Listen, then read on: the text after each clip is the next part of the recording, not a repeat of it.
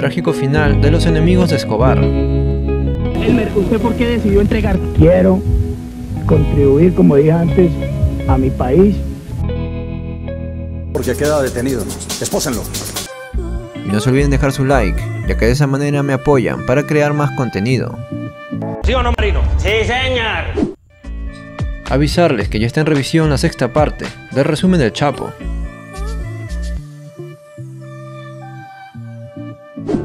Después de que el cartel de Cali acabara con Pablo, ellos fueron los siguientes en la lista.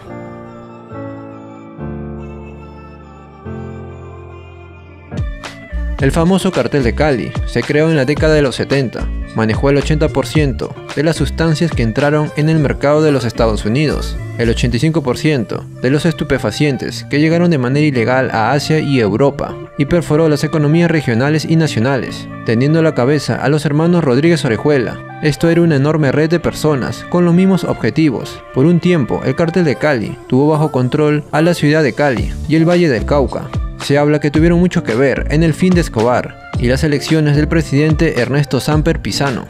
Todo esto empezó con los hermanos Rodríguez Orejuela y José Santa Cruz Londoño. La banda inicialmente se dedicaba al robo, secuestro y extorsión, hasta que se metieron al narcotráfico. Por una propuesta de Santa Cruz, comenzaron importando la hoja de coca de Bolivia y Perú, procesándola en laboratorios de Colombia, obteniendo el producto que luego tenían que enviar a los Estados Unidos y Europa. También se le asocia haber alcanzado el éxito en negocios de automóviles, en la industria química, pasando por los sectores hoteleros y de la construcción, al estilo de las organizaciones criminales de Italia. El cartel de Cali se había levantado ante la justicia de Colombia como una pirámide, con bases firmes e indestructibles en la sociedad colombiana. Su organización era casi insuperable. Los expertos la calificaban como una multinacional. Lo veían más como una gran empresa que como un cartel. Incluso eran vistos como exitosos empresarios de Cali.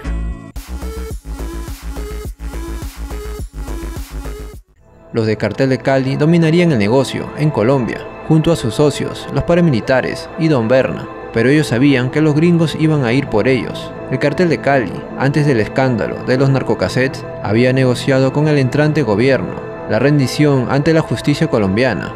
Se les daría varias prebendas, tales como prisión de no más de 5 años en cárceles colombianas y la promesa de no expropiación de sus cuantiosos bienes. Como prestación, debían desaparecer el narcotráfico de suelo colombiano.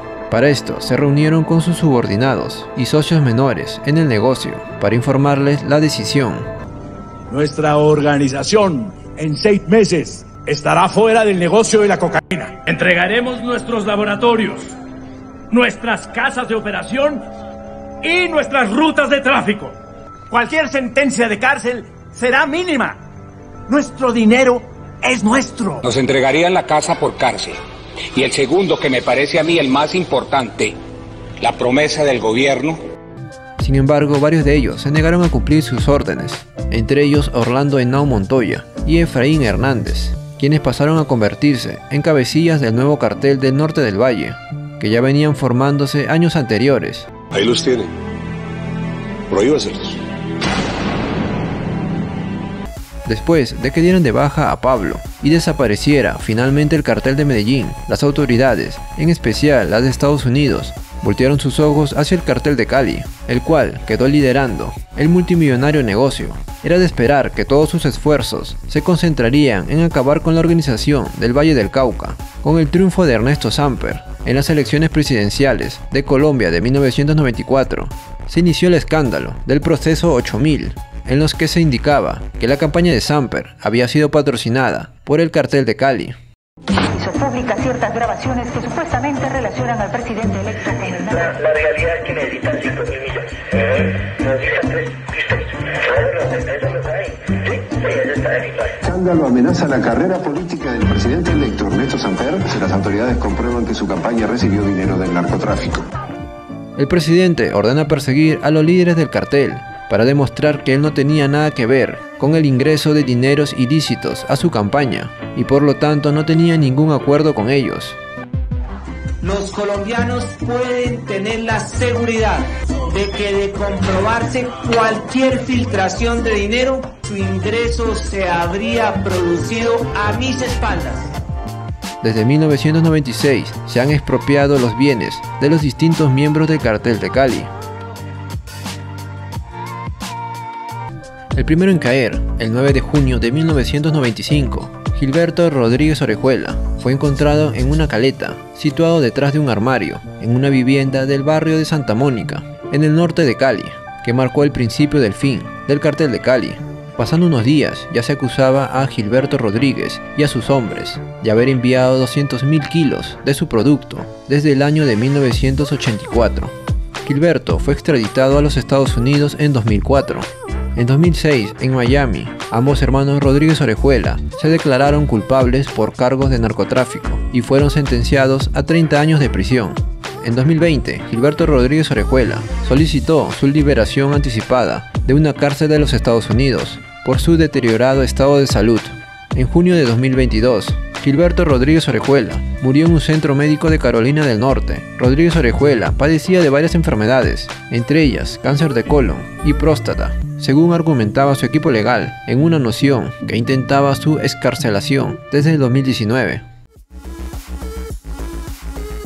El segundo en caer fue José Santa Cruz Londoño. Él sería detenido el 4 de julio de 1995 por la infiltración de agentes de inteligencia a los lugares donde frecuentaba el narco. Es capturado en el restaurante Carbón de Palo, luego de muchos meses, entrando a prisión, pero tiempo después escaparía el 11 de enero de 1996, ya que había sido advertido que lo querían eliminar dentro de la cárcel. Viaja a Medellín para tratar de volver a armar el cartel y así darles frente a los líderes enemigos, pero este no lo lograría, ya que el 5 de marzo fue capturado en una operación en conjunto con Carlos Castaño Gil y el cartel del norte del valle, y ahí fue dado de baja.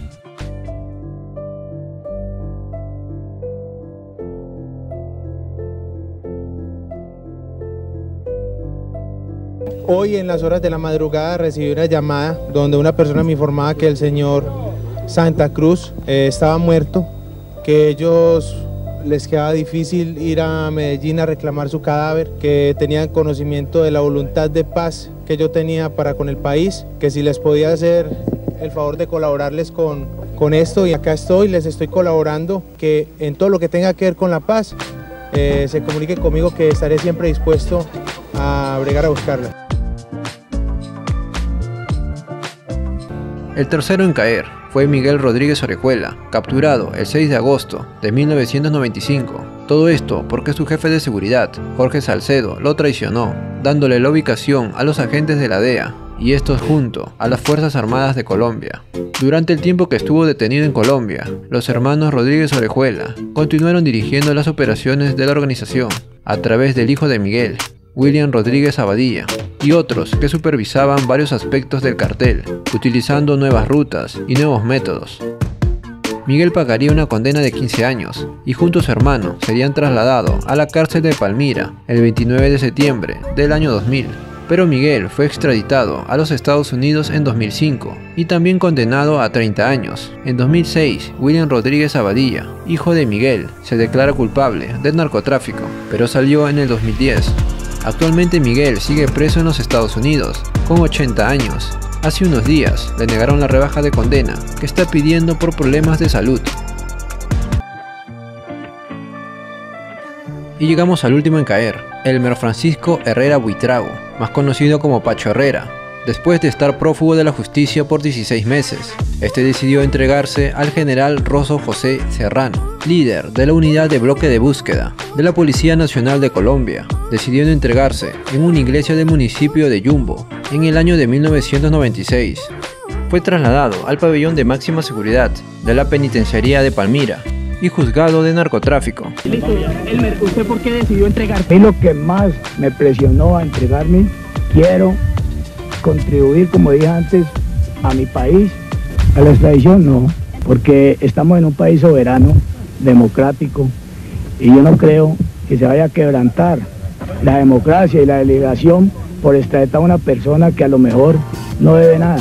Condenado a 14 años de cárcel, ya estando en prisión, el 4 de noviembre de 1998, fue eliminado por un hombre del cartel de Norte del Valle, que consiguió colarse dentro de la penitenciaría, haciéndose pasar por abogado, por órdenes de Wilmer Valera, alias Jabón, jefe de los sicarios del cartel de Norte del Valle, por una venganza, apoyados por Orlando Henao, líder de ese cartel.